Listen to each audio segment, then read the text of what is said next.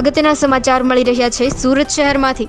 સુરત શહેરના મગદલ્લા ગામમાં નવજાત બાળક ફેંકી દેવાનો મામલો સામે આવ્યો છે ત્યારે ઉમરા પોલીસે યુવતીના પ્રેમીની ધરપકડ કરી છે. પ્રવીણ ભાંભોર છે યુવતીનો પ્રેમી, જેના થકી યુવતીને ગર્ભ રહી ગયો હતો અને પ્રવીણ વિરુદ્ધ બળાત્કાર અને પોક્સો એક્ટ હેઠળ ગુનો દાખલ કરવામાં આવ્યો હતો. હાલ યુવતી અને તેનો પ્રેમી પોલીસ કસ્ટડીમાં છે. Arvind Rathod, Zee TV news, Surat.